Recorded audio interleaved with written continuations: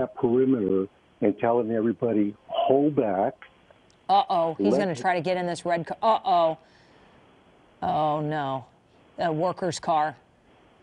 Just sitting there with the door open. Oh, no. Oh, no.